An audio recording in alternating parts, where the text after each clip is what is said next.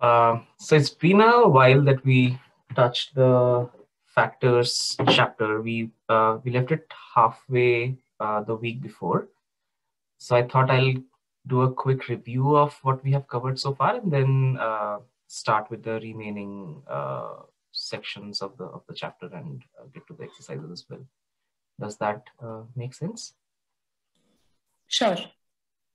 All right. So, uh, so I think we start with uh, last. I mean, uh, the week before we uh, started the chapter, and we uh, saw that there are three main uh, sections that this chapter deals with. The first one was to create factors. So we talked about how we create how how we can create factors. Uh, the next section talks about modifying uh, the factor orders. So we saw a couple of functions that uh, will help us to modify those, uh, the order of uh, the factor variables. And finally, we have this last section we did not start the week before, which deals with modifying factor levels. So how can we kind of club different factor levels? How can we lump them together and things like that?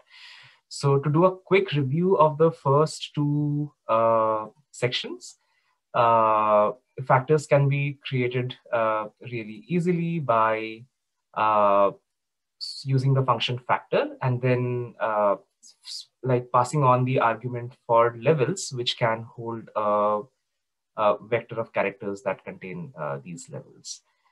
we also saw that we can sort uh, in the order that you had specified by using the function sort.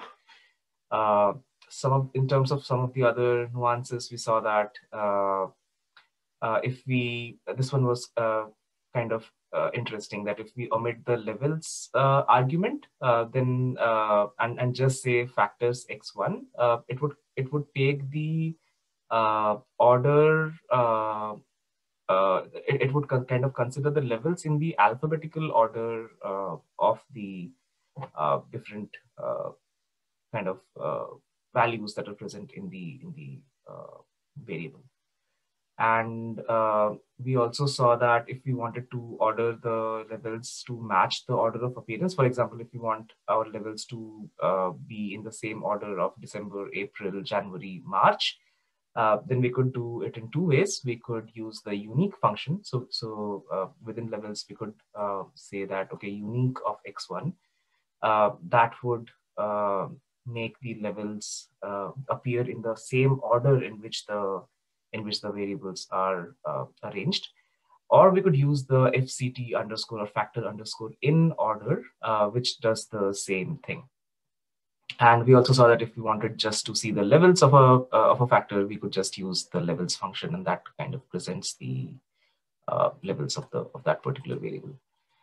Uh, in terms of modifying factor order, uh, we uh, saw that uh, it, it can be useful when we are creating graphs, for example, in the GSS underscore CAT dataset, which has a lot of uh, variables uh, like social uh, variables like year, marital status, age, race, income, party ID, etc. Uh, we uh, if I mean one example is if we plot a graph with uh, of religion, we have these array like um, we see that these are organized in a very random fashion. however, if we use functions like fct underscore reorder or fct underscore relevel, or fct underscore reorder two. Uh, these are some of the functions that can help us arrange the uh, a factor variable in different uh, ways. Uh, this is an example where we are using factor underscore reorder, which takes two arguments, uh, the variable which needs to be reorganized. so here in this case, we want to reorganize or reorder the religion variable, and we want to reorder it by another variable, which is the number of, let's say, TV hours uh, that's uh, that's in the in the data set. So this uh, orders the variable in a decreasing order or an increasing order depending on uh, where we are looking at uh, of of this the second variable that we have provided. similarly, we look at some of the other options, for example, factor underscore relevel, which helps us in kind of moving a particular level to the top uh, of the stack. Uh, so for example, we have uh, no answer here or not applicable here if we want, uh, if we kind of uh, specify FCT underscore uh, re-level, uh, factor underscore re-level, and then say that, okay, we want not applicable to appear on top, it would kind of bring it, kind of reorganize the stack so that the vector now starts with not applicable. So that was another example. And then we saw uh, the use of FCT underscore reorder two, uh, which is typically useful in uh, reorganizing uh, lines in a, in a geom underscore line kind of a chart. And we also saw the use of FCT underscore infreq, infreq which uh, is typically useful for bar plots. So if you have a bar plot like this, if we use FCT underscore infreq, it kind of arranges uh, the uh, bar plot in a decreasing order uh, of the values. So this is, I believe, where we uh, stopped last time. And now we, uh, the next section uh, that we wanted to get into this week was to discuss how to modify factored levels. And the book talks about three critical tools that, that, are, that are extremely useful for us when we uh, try to modify uh, these factor levels. Uh, the first one is factor underscore recode. Uh, the second one is factor underscore collapse. And the third one is factor underscore lump. And we would, uh, we'll be looking at each of these uh, functions in quite a bit of detail. So to start with, let's look at an example of where factor underscore recode might be useful. So this is uh, uh, the party ID uh, variable in the GSS underscore cat uh, dataset, which contains the different parties, the different political parties that respondents uh, belonged to. So, uh, so these included, you know, no answer, don't know, other party, strong Republican, not strong Republican, independent, near Republican. So we see that it's it's arranged in a in, in quite a uh, quite a number of different levels.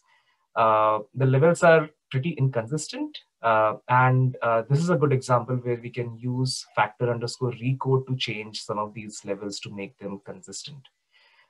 Uh, so the way that factor underscore recode works is uh, that we uh, specify the variable that we want to modify or mutate.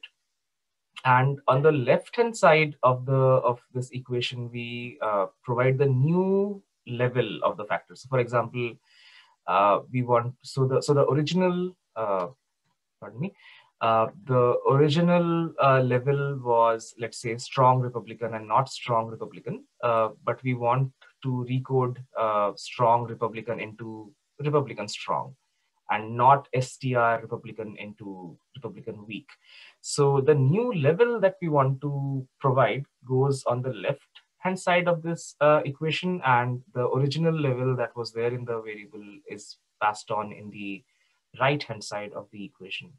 And uh, that does it. I think uh, as, as soon as we do a count of the new party ID variable that we have generated right here, we see that uh, the variable levels have been nicely and consistently recoded into, let's say, Republican strong, Republican weak, or whatever uh, uh, kind of uh, values we provided. Uh, one thing of note here is that it's it's pretty the, the the factor underscore recode function works pretty nicely in the sense that uh, we do not need to specify all the old levels and, and, and a corresponding new level. Uh, in case we do not uh, specify, for example, we did not say anything about no answer here. So that there was a level called no answer and we left it untouched it kind of retained the old value. So this is really easy to work with. Uh, say we have 10 levels and we only want to change six of them. We want to uh, let the rest of the four levels remain intact. So we can just let them be. We, we do not need to uh, mention anything about them. Uh, and and uh, the function kind of addresses that. It doesn't change them at all. it does not ask us for each specific value of um, uh, the old level and a corresponding new level. So uh, that that was really neat. Um, so that was factor recode. Uh, there are other ways to uh, specify factor recode. Uh, so for example, multiple levels can be clubbed together. So for example, we have strong Republican, not strong Republican. Uh, uh, these, um, let's say we wanted to club them even a, a little bit uh, more. We wanted all of anything that is either a strong Republican or a not strong Republican into a into a Republican. Uh, we could uh, do that by uh, or, or let's say in this example what we have done is uh, we have no answer and don't know and other party. So so uh, we can provide the same new level uh, to three different old levels and it, it works. Uh, so we have uh, said that okay code no answer into other recode don't know into other as well as recode other party into other and that's exactly what it does. It does not uh, return uh, the older values of no answer, don't know, or other party. So this is another cool trick where uh, if we wanted to lump different uh, levels, we could just keep on repeating uh, the same values for the for the new level, and it, it kind of uh, organizes itself very nicely. so that that's almost all about factor underscore recode. Uh, so just uh, in a nutshell, I think uh, the way it works is uh, specify the variable uh, that we want to recode, then use an equation format with left hand side specifying the new level and the right hand side specifying the old level. the next function that we have in our toolkit is factor underscore collapse. this is also a pretty nice function which works very similarly. Uh, it the first argument that it takes is the variable that we want to recode, and uh, then uh, it kind of takes a vector of variables, uh, a, a, vector of old levels, and uh, the new level that we want to code them into. So, for example, we want to code no answer, don't know, and other party into other. We want to code strong Republican and not strong Republican as Republicans uh, and so on. So not strong Democrat and strong Democrat as Democrats. So so we can just pass on uh, the vector of old levels into uh, uh into a new level, and and it uh, kind of works very efficiently. Uh, so now he, in this case, we see that it has now been recoded. The variable has been recoded into other Republican, Independent, and Democrats. So that is also another nice trick. Um, finally, we have uh, a function to lump multiple uh, levels together, uh, and this is called uh, the factor underscore lump function. The way it works is pretty powerful. Uh, so let's say this example, we had, uh, if you remember, we had multiple religions that respondent can follow what uh, this does is, uh, in, in its simplest form, it takes the variable that we want, uh, uh for which we want to lump the factors together. And uh, that's it. That's that's the simplest form. Uh, what it does is it kind of retains the level that has the maximum or the highest number of counts and lumps all of the factors together into a default of others. So here we see that all the you know multiple religions that were there in the in the original level everything has been clubbed into uh, the uh, factor other the, the new level of other and uh, the highest uh, level the highest count uh, was for the level protestant. And that is the only other level that has remained from the older uh, order. Here we can also specify the number of groups that we want. So the total number of groups that we would want the new variable to have. So we have we are mutating the new variable religion and we are specifying uh, the original variable and we want five uh, we want this new variable to have five levels. So it retains the top four uh, sorry it retains the top uh, five uh, levels in the original level and lumps the rest of the level into the other category.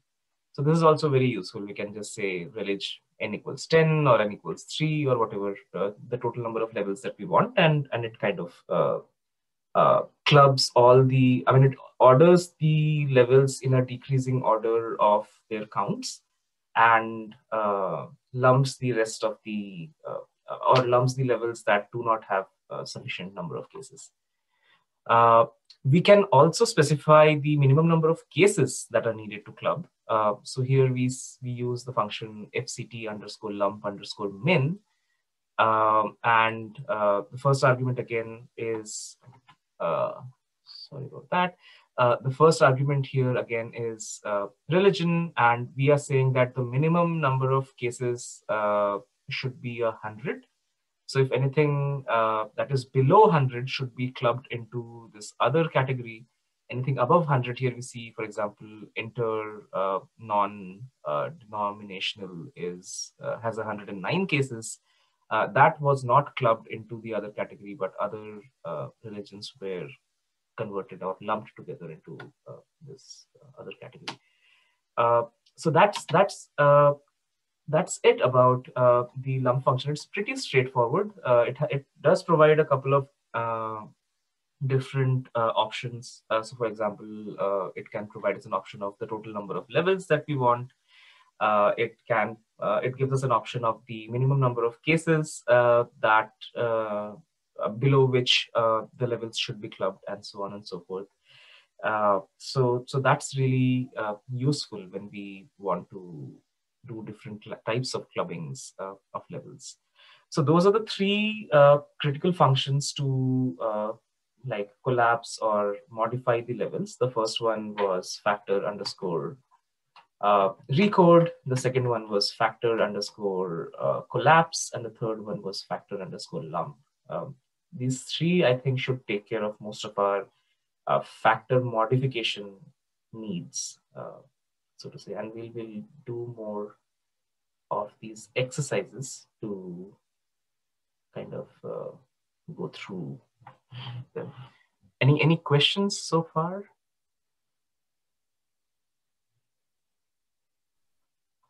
Uh, no, Arnab. All right, so let's let's start with the exercises and and see how uh, they go. So the first uh, can, can you see the exercise screen? Uh, I'm just seeing the exercises. Uh, yeah, the, all right. Yeah. The uh, problem one, right?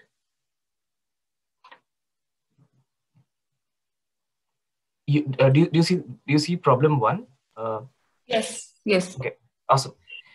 All right. So that this is the first uh, uh, exercise in the in the chapter, which uh, asks us to explore the distribution of R income and uh, says what makes the default bar chart hard to understand, how could you improve the plot.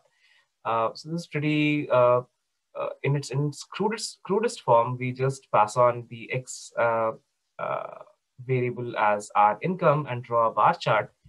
And we see that, you know, there are a lot of levels and all of these levels are jumbled together. So it's really difficult to distinguish between these levels. To make this bar chart a little better, what we can do is to use the factor underscore lump function that we just saw and say that, okay, we want uh, to recode or we want to lump the R income variable uh, and we want five uh, uh, levels. Uh, so what it does is it, it takes the top five uh, levels and then lumps all the rest of the levels into a sixth category of others. So this is this is really helpful. So it, it here we see that so one, two, three, four, five. These these were the five variables with the highest count, and the rest of the figures or, or the rest of the levels have been clubbed into this other category. so this is a really easy way to uh, kind of make your bar charts or any sort of uh, graph really uh, much more cleaner uh, in a few steps or, or with, with, very few lines of code. Uh, the next uh, problem in the first exercise was, you know, what is the most common religion in this survey? What's the most common party ID? Uh, that's really straightforward. So we uh, can just take account of religion and uh, uh, arrange it by uh, in, a, in a descending order. Uh, so here we see that Protestant is the most common religion, most common religion in the in the in the survey, and in a similar way, we also see that Independent is the most common party, uh, followed by most participants in the survey. Uh, now there are there are a couple of different ways we could have uh, approached this problem. instead of using a range, like a, a, combination of count and arrange, we could have simply done FCT underscore lump uh, and not passed on any arguments. Uh, as we saw in the in the first uh, example, uh, if we just use uh, fct underscore lump, uh, yeah, it it kind of creates these two new levels. The first level is is is the one that has the highest count. So that's that's another way to use lump to identify the highest number of uh, participants in a religion and uh, the most uh, number of participants in a, in a political party. So that's problem two. Problem three was, you know, which religion does denomination apply to? How can you find out with a table? How can you find that out with a visualization? So, uh, so I actually looked into the data and uh, I'm not sure if you have seen the data or not, but denom has a lot of not applicable cases. So uh, what I did was I filtered out the cases of cases where denom is not applicable and then took account of religion, which showed us that uh, you know most of the religions do not have a denom. So which religion does denom apply to? So so it doesn't apply to most of the religions. It just applies to uh, mostly Chris, mostly protestants uh, and also some some cases of christian other and nuances are also there but i think we can we can pretty much say that it, it mostly applies to uh, the protestant religion uh, and uh, a similar way to do that use, using a visualization is to again filter it uh, to eliminate the, the not applicable cases and then plot a bar chart and it, it shows us kind of the same thing that you know it, it applies generally to the Protestant religion. Uh, the next uh, in the next section 15.4 the first problem was uh, there are some highly suspiciously high uh, numbers in TV hours. Is this uh, mean a good summary? Uh, so yeah, I mean, we we did. I, I kind of did a descriptive. Take a, took a descriptive look. I again removed the not or missing number of cases from TV hours, and then I categorized this variable into you know cases where uh, number of tv hours was more than 50 or number of tv hours was between 15 and 20 uh, or number of TV hours was less than 15.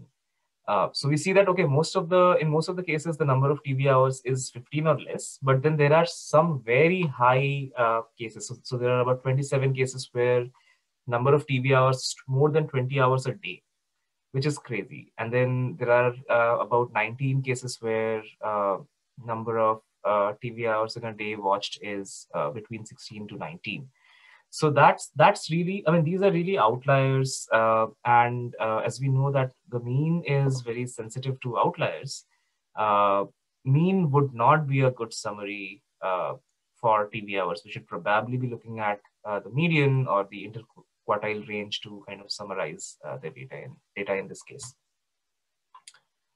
the next problem was to identify. So for each factor in uh, GSS underscore cat, identify whether the order of levels is arbitrary or principled. So the first step here is to identify uh, the order. So identify all the factor factor uh, variables. Uh, so this I found a really ni nice code in the R4DS solution, uh, which is to use the keep function. So keep gss underscore cat is factor. So this kind of uh, it's, it's it works in a very similar way to select in tidyverse, and it um, uh, it it kind of uh, selects the variables that are factor in the dataset, and then we can use the pipe operator and just retain the names uh, the variables that were selected in the earlier step. So we see that uh, marital, race, R income, party ID, religion, and denomination are uh, the variables that are factor variables. And then in order to identify if they are arbitrary or principled, we can uh, just use the levels um, function. So we say levels GSS cat Marshall, sorry, uh, GSS cat marital, and uh, we see that okay it's it's uh, the order is no answer never married separated divorced widowed and married. So we see that it ranges it, it starts the order is uh, starting from never married to and going towards married. So there's some uh, sense of order or some some sense of principle there. Uh, similarly uh, race has you know other black white or not applicable. So maybe in this case we might want to move the other or reorder it in such in such a way that the other comes after white or or, or something like that. So we can we can do that. Uh, we have our income, which is also a categorical variable here. We see that uh, it's no answer, don't know, refused, and then it's twenty five thousand or more, twenty thousand or twenty thousand to twenty five thousand, fifteen thousand to twenty thousand. So it's it's generally in a decreasing order, starting from twenty five thousand to uh, less than uh, a thousand dollars. But then we also see that there are, you know, these these three uh, no answer, don't know, and refused that appear towards the beginning of the levels, and then not applicable, which appears towards the end of the level. So we might want to kind of change the order of the variables a little bit and as we remember, uh, a good way to do that is to use uh, factor underscore uh, reorder um, or factor underscore, yeah, factor underscore reorder could be a good way to do that. Or um, there was the second function was also useful. You can see. Um, yeah, factor underscore relevel could also be a good way to do that uh, by just specifying uh, by just specifying one uh, uh, one level, we can we can kind of change its order from you know towards the beginning to towards the end. That's uh, yeah. So, so uh, I mean, we can look at other variables like that and, and decide to change their levels. But I think we all get the idea.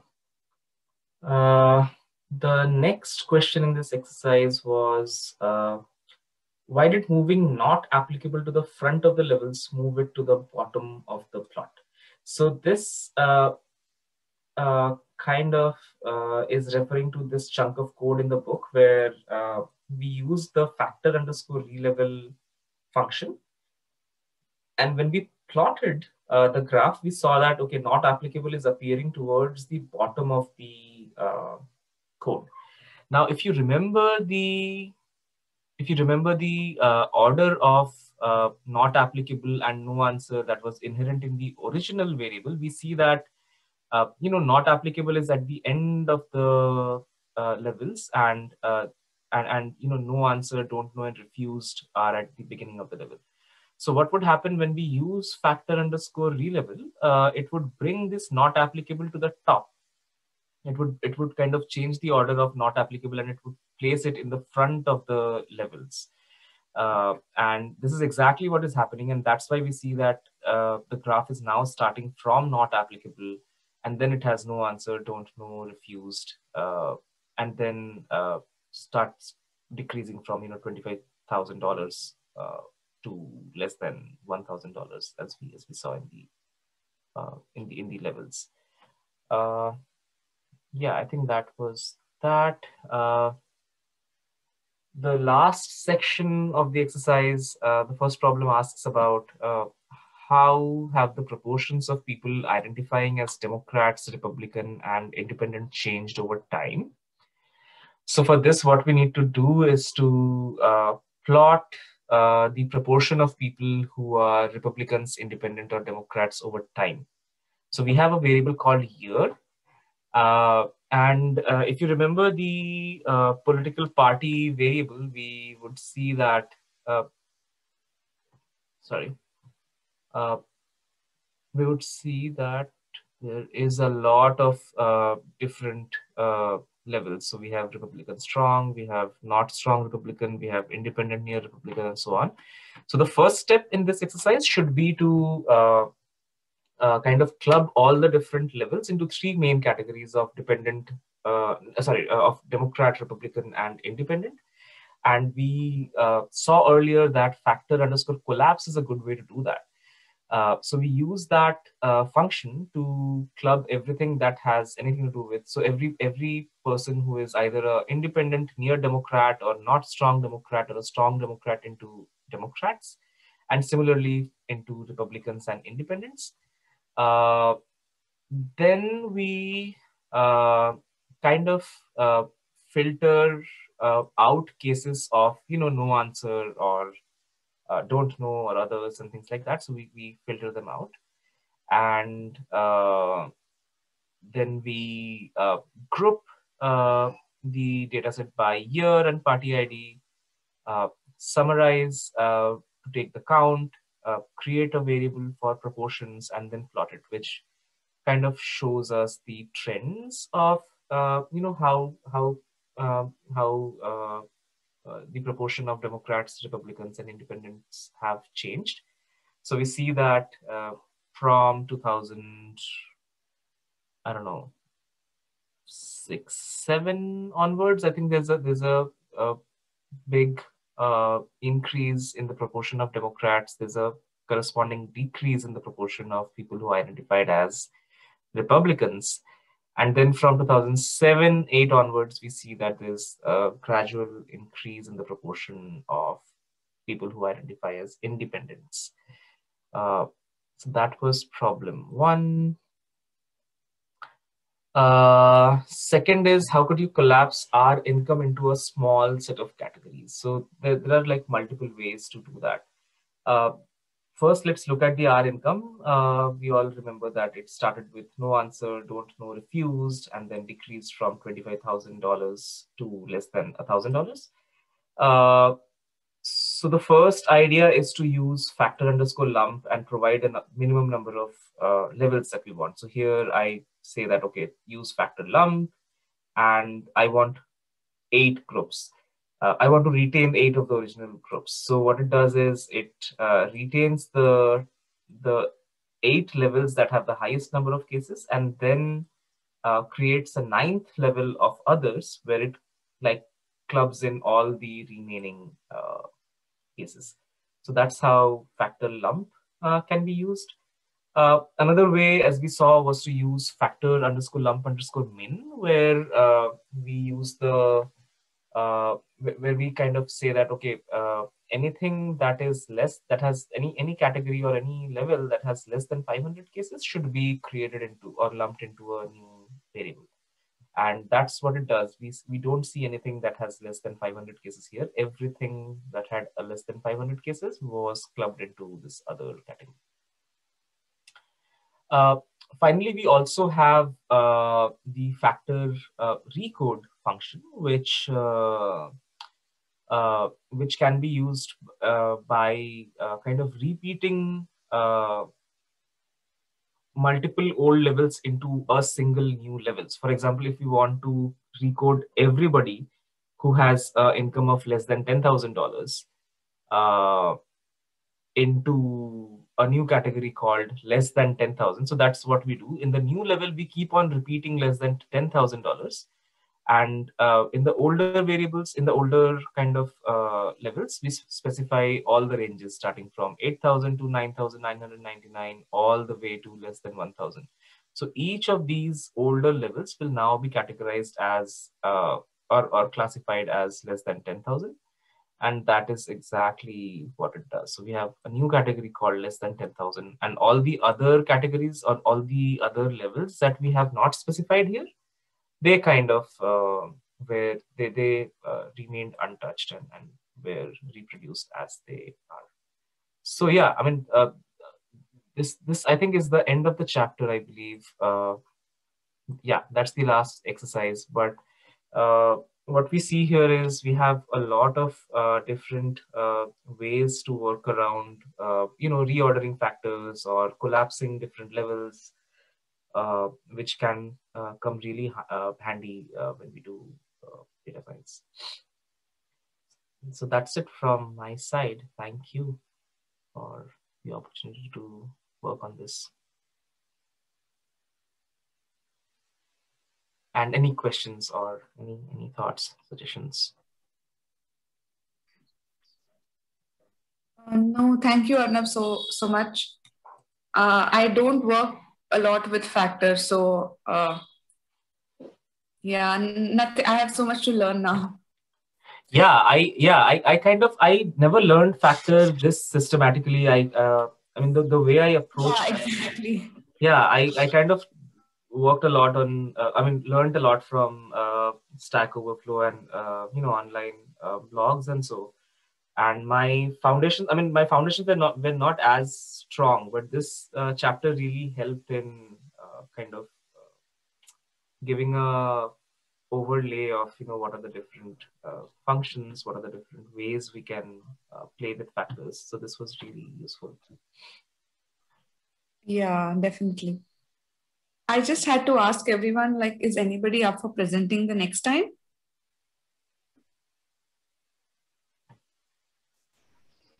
Okay, uh, I can do the next chapter thank date. Thank you so much for, uh, uh, yeah, yeah, yeah. I'm sorry, Aditi, I won't be able to do it uh, next week.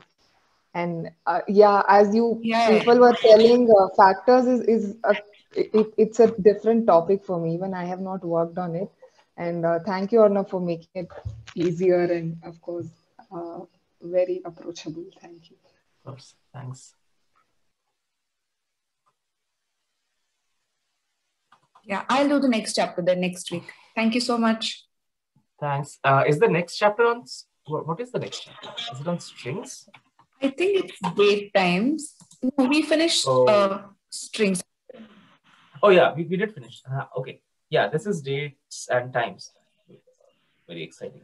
All right. Yeah, I don't think I'll forget strings after the backslashes that we tried. True. All right. This sounds exciting. Well, thanks so much, everyone. Have a great week. Thank you. Bye. Bye. Bye. Bye.